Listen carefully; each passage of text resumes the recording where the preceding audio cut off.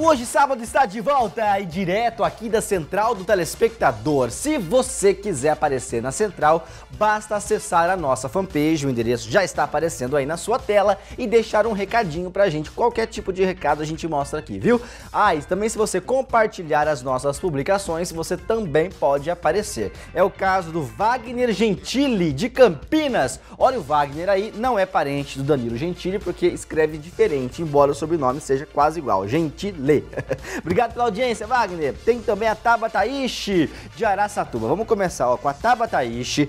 Tem a Érica Ramos, de Birigui. Obrigado pela audiência. Tem a Karina Ribeiro, de Araçatuba, também. Assim como a Flávia Luiza e também a Michele Fabiana Landim. Essa galera toda está compartilhando coisas na nossa fanpage. Muito obrigado. Ah, e por falar em compartilhar coisas, o desafio da coxinha continua sendo top de compartilhamentos na nossa fanpage. Por exemplo, a Elisa Gonzaga de Araçatuba, olha a Elisa aí, ela está lamentando muito, gente. A Elisa disse que ela queria estar no desafio da coxinha.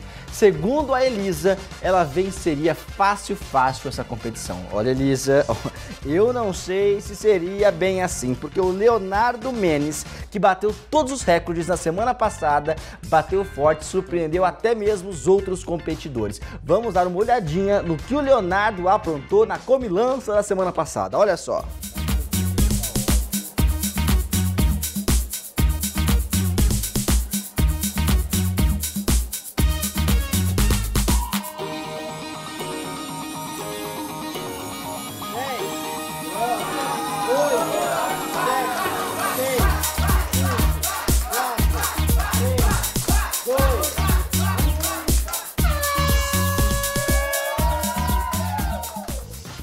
Não temos como negar, não é? O Leonardo é um profissional da arte de comer coxinhas. Ele está no topo do nosso ranking. Nós vamos colocar o ranking aí na tela. Olha como tá. O Leonardo, 23 coxinhas, é o líder, seguido do João, que tem 21, o Giovanni com 17, o Gil com 13, o Gustavo tem 11, o Arley 10 e as meninas que não foram muito bem. A Maraíse tem 4 coxinhas e a Larissa apenas 3.